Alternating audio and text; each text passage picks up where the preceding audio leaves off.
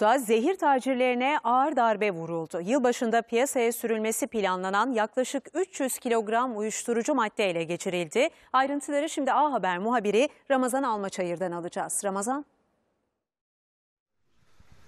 İstanbul Polisi'nin başarılı operasyonlarından bir tanesi diyebiliriz. Narkotik Suçlarla Mücadele Şube Müdürlüğü ekipleri takipli bir operasyon neticesinde zehir tacirlerine de önemli bir darbe vurdu ve 300 kiloya yakın uyuşturucu malzemesi ele geçirildi.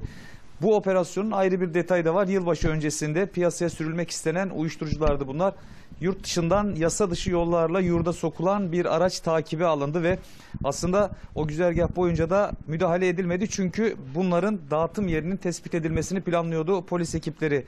Ve nihayetinde beklenen oldu Gazi Osman Paşa'da bu uyuşturucular Zula tabir edilen noktalara saklandıktan sonra da polisin operasyonu başladı. Operasyon yapılan adreste 3 kişi gözaltına alınırken ortaya da aslında bu manzara çıktı. Piyasaya sürülmek için hazırlanan yaklaşık 300 kiloluk uyuşturucu maddeye de el konuldu.